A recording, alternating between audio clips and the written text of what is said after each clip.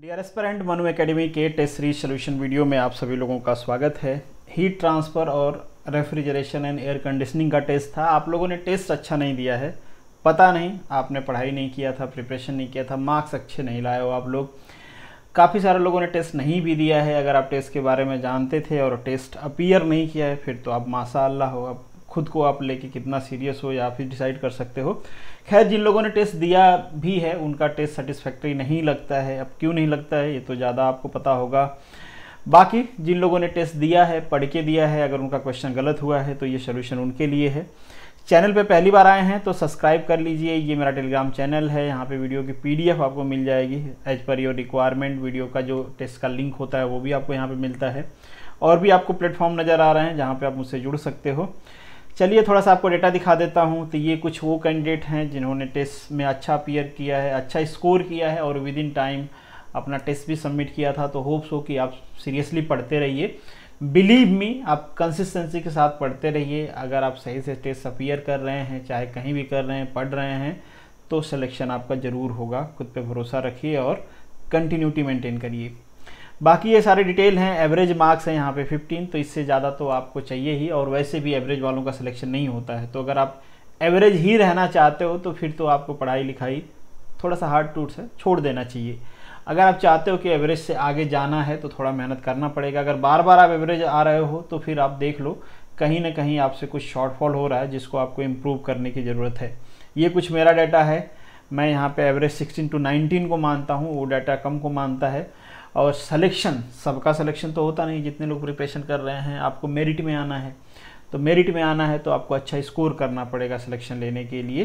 तो ये कुछ मेरे हिसाब से बनाया हुआ है और मान मान के चलता हूँ कि आपको 20 से तो ऊपर स्कोर करना ही चाहिए था इस टेस्ट में। किसी भी हालत में आप पढ़ के दे रहे हो, कम पढ़ के दे रहे हो, वो सारे बहाने होते हैं, खैर। चलिए आगे ये कुछ डिटेल है जेंडर डिटेल आपका और बाकी ये कैटेगरी डिटेल है और ये आपका कौन से एग्ज़ाम के प्रिपरेशन कर रहे हैं। बेसिकली चैनल की हम बात करें तो इस चैनल की। फ़र्स्ट जो क्वेश्चन है आपका the throttling operation in the refrigeration cycle is carried out in कहाँ पे कैरी किया जाता है? काफ़ी सारे लोगों ने एक्सपेंशन वॉल्व दिया है कैपिलरी ट्यूब भी दिया इसका आंसर आपको दोनों मिलेगा। कई सारे जगह आपको इसका आंसर एक्सपेंशन वॉल्व मिलेगा, कई सारे जगह इसका कैपिलरी ट्यूब मिलेगा। पर ज़्यादा अप्रोप्रिएट है कैपिलरी ट्यूब अगर दोनों यहाँ पे ऑप्शन में हैं तो। कैपिलरी ट्यूब का यूज़ हम वहाँ पे करते हैं, जहाँ पे कूलिंग लोड कांस्टेंट होता है। कूलिंग लोड इज़ कांस्टेंट, वहाँ पे हम कैपिलरी ट्यूब का यूज़ करते हैं। और जहाँ पे कूलिंग लोड फ्लैक्चुएट कर रहा होता है, वहाँ पे हम एक्सपेंशन वॉल्व का यूज़ करते हैं, क्योंकि ये थोड़ा ऑटोमेटेड होता है। जो आपका रेफ्रिजरेशन रेफ्रिजरेंट का फ्लो रेट होता है, उसको कूलिंग लोड के हिसाब से ये बढ़ा या घटा सकता है। तो आप डोमेस्टिक पर्पज़ में जहाँ पे भी देख लो कैपिलरी यूज़ होती है, ये सिंपल होती है, कुछ इस तरीके से नज़र आती है, कम पैसे में मिलती है और अपना काम भी हो जाता है। अब लोड वेरिएशन कहाँ पे हो रहा होगा? अब ऐसा तो नहीं है कि फ्रिज में आप जलती हुई कोई चीज़ डाल देते हो, कभी फिर निकाल लेते हो, ऐसा तो नहीं है। कोई चीज़ डालोगे जनरली वो क्या होगा? एटमॉस्फेरिक टेम्परेचर पे होगा। तो जो लोड कैपेसिटी सॉरी जो कूलिंग कैपेसिटी होती है या कूलिंग लोड होता है, वो अराउंड अराउंड सेम रहता है, ठीक है?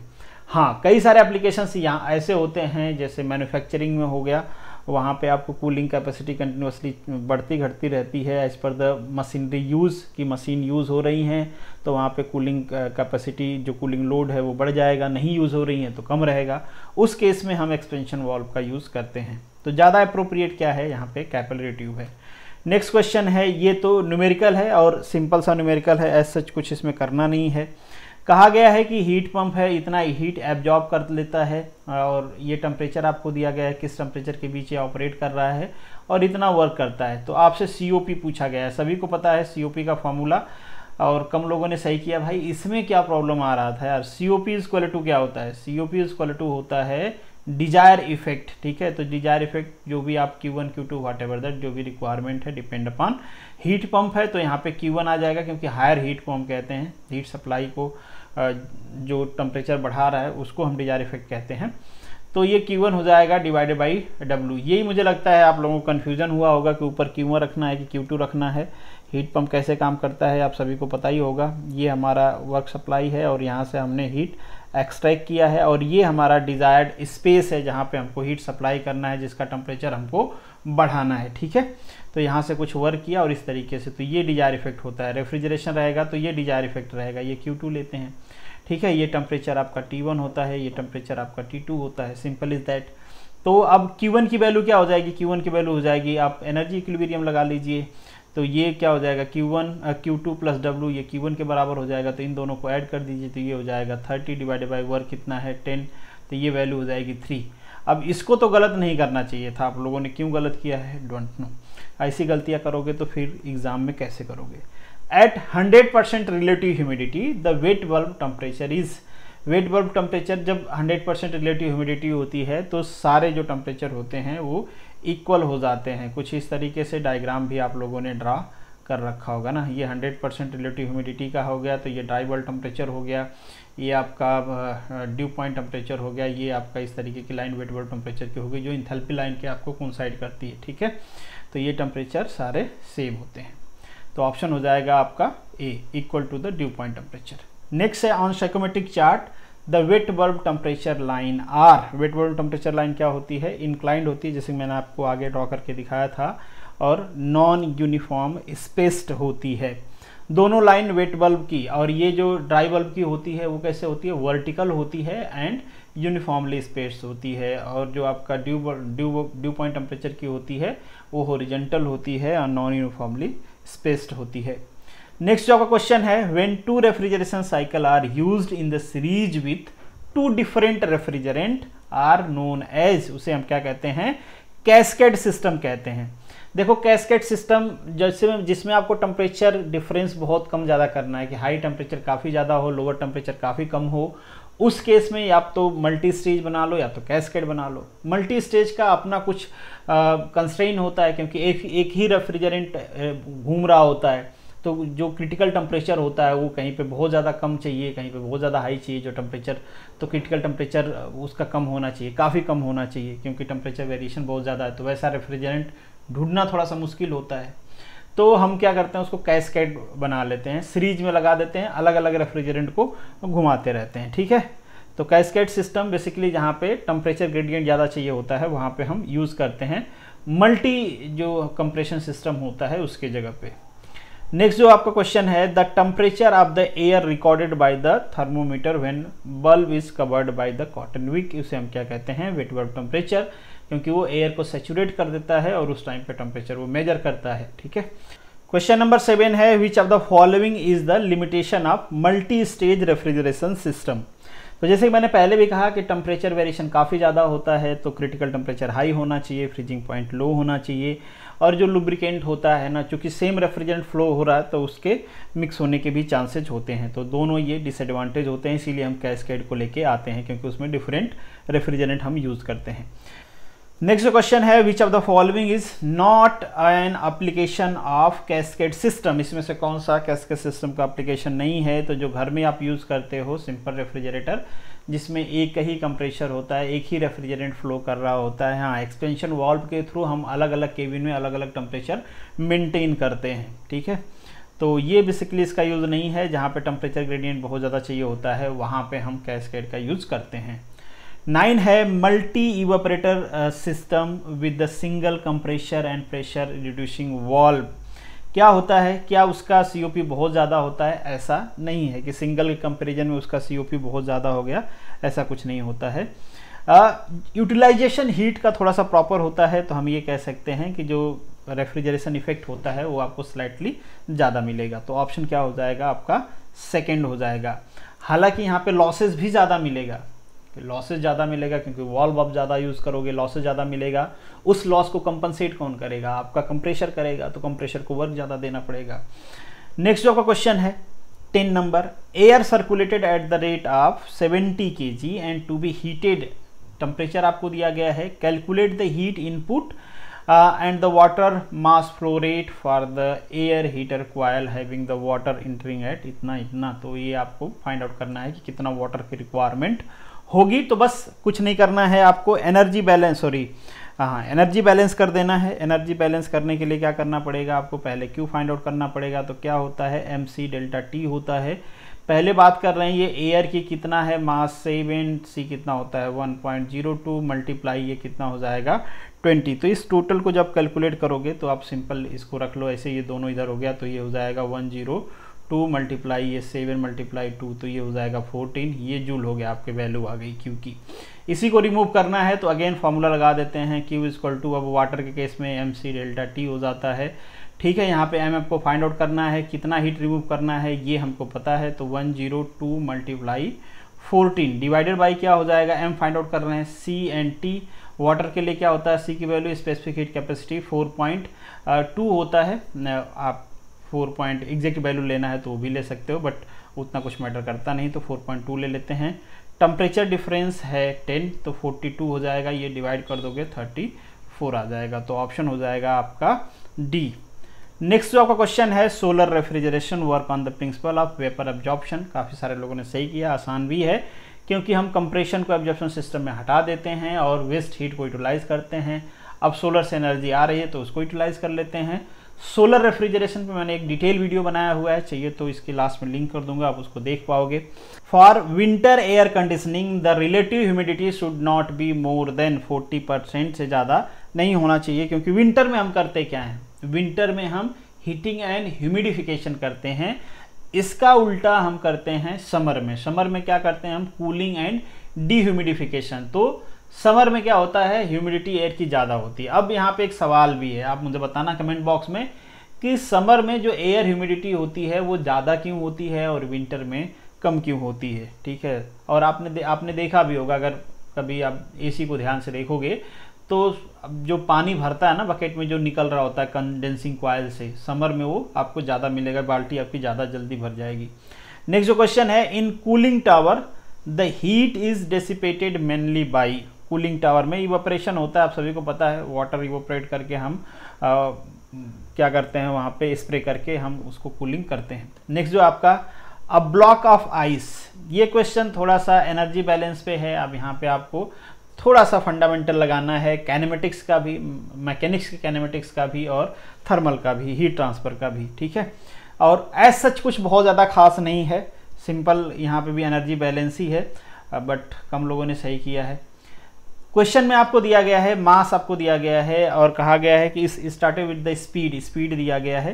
तो यहाँ से आपको क्या पता चल जाएगा? यहाँ से आपको पता चल जाएगा कैनेटिक एनर्जी ये कह रहे हैं कि ये पूरा घिसता हुआ रुक जाता है, ठीक है? घिसता हुआ रुक जाता है। मतलब ये टोटल कैनेटिक एनर्जी किसमें कन्वर्ट हो गई? फ्रिक्शन ने जो वर्क किया, उसमें कन्वर्ट हो गई। अब फ्रिक्शन का जो वर्क होगा, वही कन्वर्ट होगा हीट में।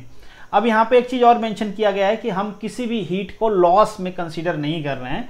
मतलब फ्रिक्शन से ये कह सकते हो कि जितना भी हीट आई, वो सारी हीट वो जो आपका ये आइस है, उसको मिल्ट करने में चली गई। तो हम सिंपली लिख सकते हैं यहाँ पे कितना है? 50 मल्टीप्लाई फाइव का स्क्वायर और यही हीट आपको यूटिलाइज किया गया है आइस को मिल्ट करने में। तो कितना आइस मेल्ट होगी मान लेते हैं एम होगी और मेल्ट होने के लिए latent heat of the fusion चाहिए। तो लेटेंट हीट ऑफ़ फ्यूजन आपको यहाँ पे दिया गया है। Very simple is that mass आपको फाइंड आउट करना है। यहाँ पे कैलोरी ग्राम में दिया गया तो इसको आप कन्वर्ट कर लेना। 4.2 का मल्टीप्लाई कर दीजिए तो यहाँ पे mass into hundred multiply four point two is equal to ये कितना हो जाएगा? सिक्स टू फाइव ठीक है? तो ये कितना हो जाएगा? 420 हो जाएगा। तो m is equal to six two five divided by four twenty तो आंसर आपका क्या आ जाएगा? 1.5 के आसपास आएगा 1.48 कुछ आसपास, ठीक है? तो आसान सा क्वेश्चन था बट अगेन इसको भी कम लोगों ने सही किया है। नेक्स्ट जो क्वेश्चन है आपका an ice cube is floating in the water kept in the glass अब आइस ट्यूब है आइस क्यूब है सॉरी और ये आपकी ग्लास है, इसमें वाटर भरा हुआ है, यहाँ पे कहीं वो फ्लोट कर रहा है। तो भाई ये चारों तरफ़ से वाटर से सराउंडेड होगा ना तो वाटर में हीट ट्रांसफ़र कैसे होगा? कन्वेंशन के थ्रू होगा ना ना कि कंडक्शन के थ्रू होगा। तो यहाँ पे पूछा आपसे क्या है? The water water in the glass get cooled majorly मतलब किससे? मेजरली कौन सा हीट ट्रांसफ़र यहाँ पे हो रहा होगा? The water in the glass get cooled water क्यों कूल्ड होगा? क्योंकि आइस क्या कर रहा होगा? हीट ट्रांसफ़र कर रहा होगा। हीट एब्जॉर्ब कर रहा होगा वाटर से ना। तो वाटर से हीट जो आइस होगी वो एब्जॉर्व करेगी। किसके थ्रू करेगी भाई? कन्वेक्शन के थ्रू करेगी। वेरी सिंपल नेक्स्ट जो क्वेश्चन है आपका the insulation of electric wire should be कैसा होना चाहिए? लेस होना चाहिए। आप सभी को पता है वायर होता है, इसमें इलेक्ट्रिसिटी फ्लो कर रही होगी। यहाँ से हीट जनरेशन होगा। हीट जनरेशन होगा तो आप चाहोगे कि हीट तेज़ी से बाहर निकले। ऐसा तो नहीं चाहोगे कि हीट यहीं पे स्टोर हो जाए और वायर आपका मेल्ट हो जाए। मेल्ट तो नहीं होगा, खैर बट सॉफ्टेन हो जाएगा। ठीक है? तो आप तो नहीं चाहोगे कि शॉक टर्न हो तो इसलिए जो इंसुलेशन लगाया गया रहता है ना वायर पे, उसका दो पर्पज होता है। एक पर्पज कि आपको इलेक्ट्रिक शॉक ना लगे इंसुलेटर होता है वो। दूसरा पर्पज होता है उसका कि यहाँ से तेज़ी से हीट ट्रांसफ़र करे। और इंसुलेटर तेज़ी से हीट ट्रांसफ़र कब करेगा? जब वो क्या होगा? क्रिटिकल रेडियस से कम रहेगा। ये क्रिटिकल रेडियस है, यहाँ तक हीट ट्रांसफ़र बढ़ता है, इसके बाद घटता है। ये सब आप लोगों को पता है, ठीक है? तो यहाँ पे कम होना चाहिए। आ, कुछ लोगों ने गलत किया होगा वो शायद पर्पज इसका गलत सोच लिया होगा। उनको लगा होगा कि इंसुलेशन का यूज़ हमेशा हम हीट ट्रांसफ़र रेट घटाने के लिए करते हैं। नहीं भाई कई सारे एप्लीकेशन है जहाँ पे हम इसका बढ़ाने के लिए यूज़ भी करते हैं। Which of the following is the case of steady state of heat transfer ये तो सबको सही करना चाहिए था। स्टडी स्टेट मतलब टाइम के साथ वेरिएशन नहीं होगा। तो जब आप इक्विलिब्रियम में आ गए हो तो फिर काहे का वेरिएशन नेक्स्ट जो क्वेश्चन है thermal conductivity of the semiconductor क्या होता है? इंक्रीज होता है टेम्परेचर बढ़ाओगे तो इंक्रीज होगा मूवमेंट बढ़ जाएगा। यहीं पे कंडक्टर होगा तो डिक्रीज हो जाएगा, ठीक है? नेक्स्ट जो क्वेश्चन है आपका two wall of the thickness A and two A called P Q ये कहा गया है। और ये भी सिंपल न्यूमेरिकल है, आपको फॉर्मूला लिख लेना है, अगर थोड़ा सा कन्फ्यूज़न है तो। तो यहाँ पे क्यू पी लिख लेता हूँ, क्या हो जाएगा? के ये वैल्यू दिया हुआ है तो के पी और ये हो जाएगा delta T P divided by A दिया गया है ना ये? ये आपका क्यू पी का हो गया। क्यू के का क्या हो जाएगा?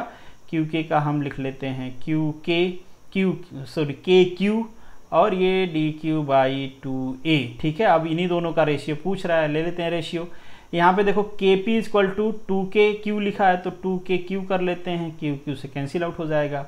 अब यहाँ पे देखो, एक जो ए वाला है, ये ए है और इसका टू ए है तो ये हमने ऑलरेडी लिखा हुआ है। तो ये del T by A multiply ये two A divided by del T बस ध्यान रखना, ये पी वाला है, ये क्यू वाला है, ठीक है? कह रहे हैं कि जो ये ये तो ये कैंसिल आउट हो जाएगा। टू ऑलरेडी हमारे पास बचा हुआ है।